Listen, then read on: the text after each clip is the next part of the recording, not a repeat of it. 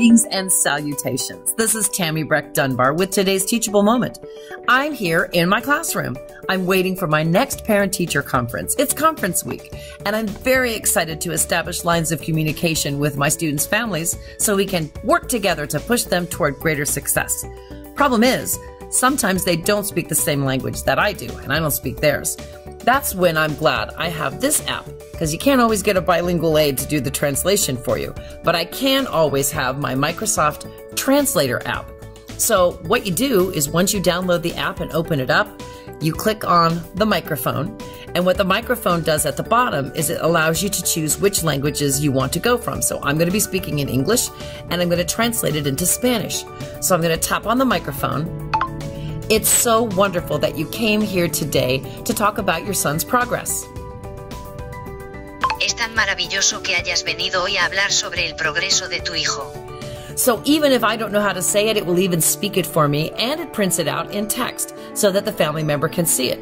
This is amazing. So now I can get a lot of information across to a family member. But what happens when the family member wants to talk to me? Not a problem. All you have to do is click on that microphone and then see down here at the bottom, there are two microphones split. So if I click on that, it's actually going to split the screen so that on my side, I'm going to see the English and on her side or his side, they'll see it in their language. Check it. What a wonderful job your son did on his Explorers Report. Qué maravilloso trabajo hizo su hijo en su informe de exploradores.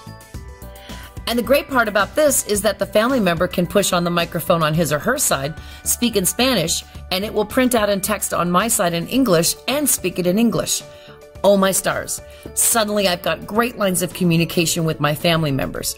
And by the way, there are quite a number of languages that you can choose from in here. I was a little terrified when a family member came in to yesterday and spoke Mandarin.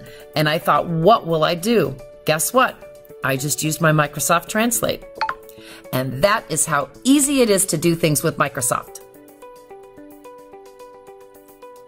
这就是与微软合作是多么容易。 And that is today's teachable moment.